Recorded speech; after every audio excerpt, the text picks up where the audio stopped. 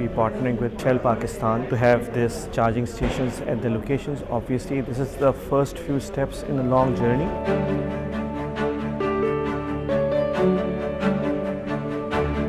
This collaboration with uh, KE is going to help us provide a facility which is convenient, which is safe, and which is reliable for the customer so that they can carry out their journeys uh, more confidently.